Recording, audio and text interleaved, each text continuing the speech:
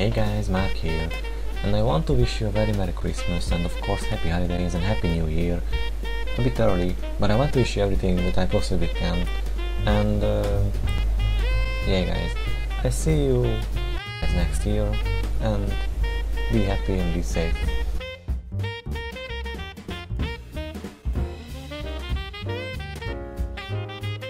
Bye bye.